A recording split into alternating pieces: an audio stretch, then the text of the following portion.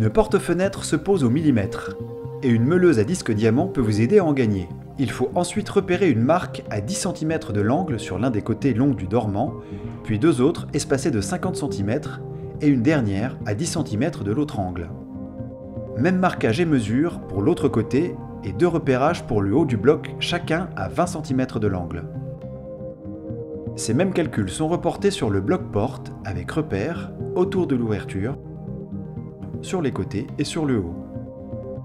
Une découpeuse nous aide à retirer plâtre et isolation tout autour de ces repères.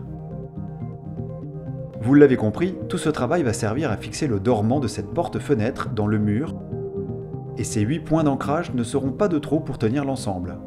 Ce sont des équerres qui vont jouer ce rôle et on commence par les fixer sur le dormant à la vis autoforeuse. Puis il est entouré d'un joint mousse. Le bloc de la porte et ses équerres sont posés en situation, juste pour un test. Nous rattrapons le niveau en glissant des cales de taille différentes sous la partie basse. Quand tout paraît parfait, il suffit de percer à travers les équerres les trous de fixation.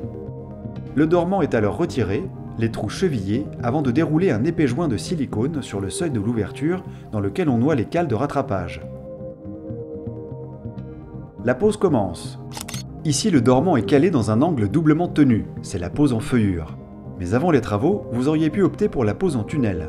La porte est au milieu de l'ouverture, en applique, le dormant est posé contre le mur. Mais revenons à notre feuillure. Les pattes du dormant sont vissées dans la maçonnerie en vérifiant les niveaux. La porte est réglée, testée, et un cordon de mastic d'étanchéité protège le côté extérieur. L'accès côté jardin c'est la porte ouverte des belles soirées d'été.